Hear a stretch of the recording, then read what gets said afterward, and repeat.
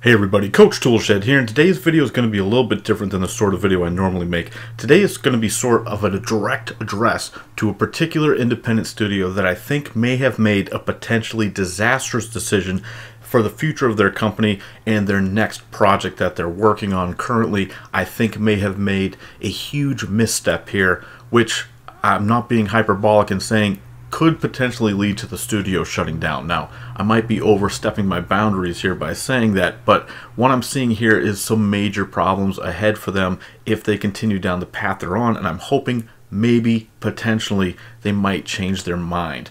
Now, what studio am I talking about? What game am I talking about? Well, the studio I'm talking about is Housemarque. Now, if you're unfamiliar with the name Housemarque, you may have actually played one of their games if you were an early adopter of the PlayStation 4 and if you had PlayStation Plus as a subscription.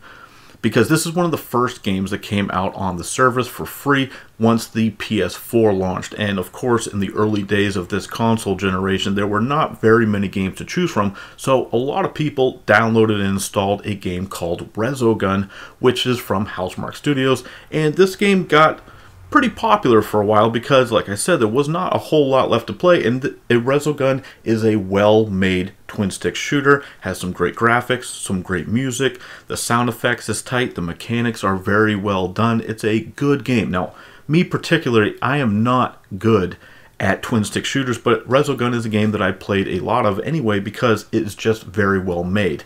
They also made some other games like Nex Machina, which is what you're seeing on the screen here. They made games like Matterfall, Dead Nation, Alienation. They've had a good string of games that got well reviewed, and in fact, this game here, Nex Machina, that you see on the screen, is one of the highest reviewed games of 2017.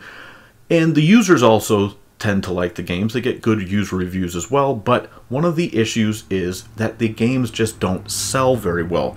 They're critically successful, commercially, not so much so. So the fact that a lot of people have still played one of their games, if you've played Resogun, their other games just really weren't selling very well. And so in 2017, they put out a newsletter letting everyone know that unfortunately they were going to have to step away from this genre entirely, which is really too bad because they really did do a very good job of it. But there just isn't the same demand for this arcade style twin stick shooter as there is for a lot of, lot of other genres. And so in late 2017, they made this announcement. they said that they were working on something and they were going to make an announcement soon. And in April of last year, they finally revealed which game they were working on. It's a game called Stormdivers, which is a battle royale game. Now, they sort of danced around the issue. They didn't really want to label a battle royale game. But yesterday, on Saturday, they actually rolled out the closed beta, which they had some streams going. The developer themselves had some streams going. They allowed players to stream the game. So for the first time, we really got a good look at the gameplay, and it is, in fact, just a battle royale game. That's what it is. Now, they have been talking about how they're trying to set themselves apart from the other battle royale games, but based on what I saw, I don't see how it's really structurally very much different from a game like Fortnite. Now, it does have the cartoony graphics of Fortnite as well, so I don't see how this game is going to draw in the PUBG crowd or the Blackout crowd, people who want that more realistic approach.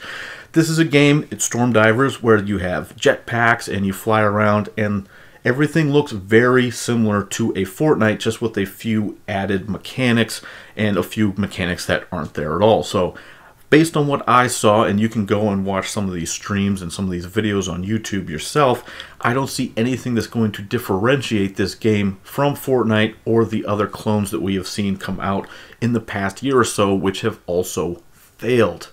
I'm talking about a game like Radical Heights from Cliffy B Studio, which ultimately led to the shutdown of the, that studio. They decided to make a last ditch effort because they were not financially viable. They decided to go into the Battle Royale genre, and as a result, the studio is now shut down. We also saw games similar to that in the survival genre. The Culling 2 came out last year and couldn't even get enough people to populate a single game. People were just getting into matches with one or two people. They were automatically winning matches because they were the only ones in the lobby and they had to shut down the servers on that game almost immediately because, quite honestly, there just isn't enough interest in games that aren't Fortnite or PUBG or Blackout right now. And now there's even another game that's going around called Realm Royale, which is also chewing into that sort of cartoony battle royale style. So there's just not enough players to go around, especially when Fortnite is dominating the way it is. And so when I looked at the stream yesterday and I saw the gameplay for this game, Stormdivers from Housemarque, it really got me discouraged about the future of their company. Now, when they first announced this game, a lot of people reached out to them and said, please don't do this. This is not a good idea. And while I understand totally the need for them to abandon the arcade twin stick shooter genre because it just wasn't paying the bills anymore, I don't understand how they think that releasing a battle royale game in this market is going to somehow save the day for them. Now, they did put out a newsletter at the end of last year in 2018, letting people know that they're also working on a triple A game. But in the newsletter, it says that they're still searching for a publisher for that game. Now, they've ramped up the hiring at the studio. Apparently, they're over 50 people now, and they have two different teams. One team's working on Stormdivers, one team is working on this unannounced project. But I don't see how a studio of this size, which by their own admission is not doing so well financially based on the sales of their last few games, and without a major publisher backing them, I don't understand how exactly they think they're going to release a game that could be labeled AAA. Now, they certainly have some skill and talent at this studio. The games that I've played from them are very mechanically sound. They have great soundtracks. The sound effects are great. The mechanics are just spot on. If I was better at these games, I would probably enjoy them more, but I still keep going back and playing these games from time to time just because I have fun playing them. I, I am admittedly terrible at them, but I do have fun playing the Housemarque games, and I would hate to see them have to shut down by wasting all of this time on this Stormdivers project because I just see this game as being a complete failure. Now, in the beta yesterday, even on the developer's own stream, there was only a few dozen people watching it. And if you go and look at the Twitch streams that were posted yesterday, you'll see total amount views of 12, 16, 32, I think was the most views I saw from other people. If you go onto YouTube, not saying anything bad about the content creators that posted their footage, but I didn't even see a single video of beta footage from this game that has over 50 views. So there just is no buzz about this game at all. And I think it's a very big mistake for an indie developer to just say, hey, Battle Royale is popular. We've been working on this game for a couple years, therefore we got to pump this game out. I think if it's at all possible for them to pull the plug on this game now and still keep themselves financially viable long enough to work on and release this AAA project that they're working on, I think that's what they need to do. I, th- I think they would be best served by pulling the plug on this game right now, cut their losses, and just move on. If that is at all an option for them, I would say please, Housemarque, I, I know the odds of you hearing my voice and listening to this video is very low, but if anyone at the studio does run across this, please at least consider what I'm saying here because I like your games. I know you haven't been successful selling them, but please, I'm not saying, and I'm not saying to go back to this genre. I'm not saying that at all. But please, you, this Stormdivers game is a disaster waiting to happen. And that's not me being negative, that's me being pragmatic. And in the stream yesterday, they the developer himself who was in the Housemarque stream, it seems like they don't really have a true focus on what they're going to do. They were basically like, "Hey, this is what we we have now. We're working on some other stuff. They're working on some PvP modes, some PvE modes. They're they're they just seem like they don't have much of a focus and don't have much of a direction. And they are, to their credit, they're asking for fan feedback on what they can improve and what they want to do going forward, which is admirable, but it just seems like they're not working on tweaking an existing focused vision. It seems like they're just sort of winging it and hoping that this game sticks. They they they seem still very positive about it and optimistic that they can pull it off and they told fans not to worry about it. They think that they've got it and I'm telling you there's a place for optimism and I don't think that this is the place for it and and I know that people say I'm a negative Nancy, but this is I think this is legitimately a potential catastrophe for Housemarque for this studio, and I really really hope that they will examine the situation, recognize the fact that they got no buzz yesterday about this game and really take a step back. And you guys can be the judge yourselves. Go ahead and try to check out some of the footage yourself if you if you're interested in it from the closed beta yesterday and tell me what you think. Tell me if I'm missing something where you're seeing it set apart itself from the other games in the battle royale genre.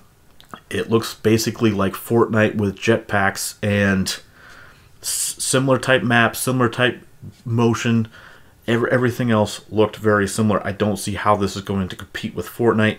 And in the stream yesterday, someone asked them what the potential price point would be. They said they haven't nailed it down yet, but they did float out, float out the idea of retailing this game at $29.99, which would just just be a massive, massive mistake, especially since yesterday, even in the closed beta, they could not seem to get a game up and running within a reasonable amount of time. It was still taking a very long time just to get a full lobby going, and they weren't even shooting for 100 people in a game. I believe what I saw, I think they were only going with 15 people in a lobby. Now, that might be a mistake, but based on what I was looking at on the screen, that's, that's what I saw. So, I just, I don't see this project succeeding, and I would hate for them to waste more time and resources pumping out a product that I think is ultimately doomed to fail.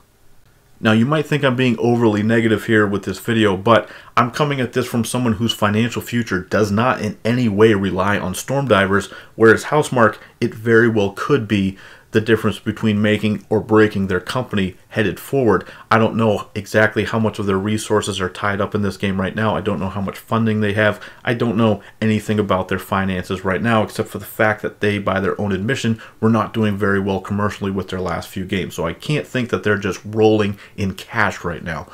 And I think if they put too much more resources into this game and it is not successful, that is going to be a very bad sign for their future. That's all I'm trying to say here. And again, I'm coming at this as someone who has no financial stake in this whatsoever. And I can understand if, from their perspective, where their future might hang on this, that they might have been thinking that this is a good decision to make. Maybe they weren't thinking very clearly about this, but I don't know. And you might you might say that, oh, who are you to say that you know better than the developer? And hey, fair enough. I don't have access to their know how or their books or their finances or anything like that. But from an outside perspective, I just don't see how this project can possibly succeed at this point. And again, like I said yesterday, just no buzz generated at all for this game. So that's it from my Coach Toolshed. A bit of a downer video, I agree not much to uh, be positive about from my perspective about this game, and I really don't want to see Housemarque shut down. But anyway, let me know what you guys think down in the comments below. Please subscribe if you want to stay in tune with the channel headed forward, and as always, keep it turned to 11.